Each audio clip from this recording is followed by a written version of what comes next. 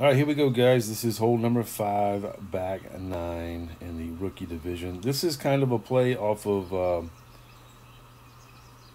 Rhino's shot. It it plays very strong here. Uh, I offset it. I mean, a pretty good amount here. Notice the second hop where the second hop is. This right here is just 80% slider, which came out to 4-6. So and just watch where it finishes.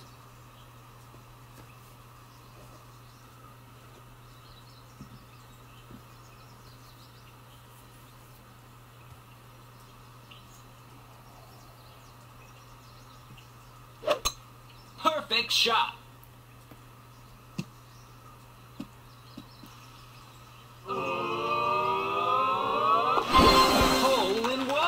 So I just think this one is it's kind of dangerous uh, because there's just so much offset. I don't like that. So what we're gonna do here uh, is go 80% slider, and I used power one numbers there. What we're gonna do is use power three numbers. Uh, that's gonna boost it up from four six to four eight, and then we don't have to offset so much. So we're gonna slide it back over a little bit closer to the cup, and do power three numbers, and that should offset both sides of of uh, what we're trying to do here. Uh, we're still going to stay with the Navigator. Um, I mean, we could try it with the Kingmaker. I, I, I would rather not have high winds, um, but that's just such a far offset and it finishes so far right.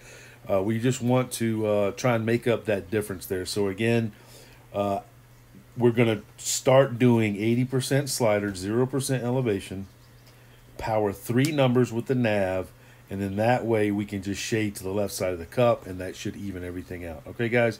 Because this is just a little bit too far of an offset for me and it's still finishing right.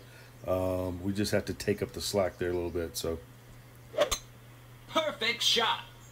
And uh, we'll just watch it one more time. And you can see it on this side how close it was not. I mean, that was hole in one. A little close a little too close. All right guys that is hole number five back nine um, by the iceman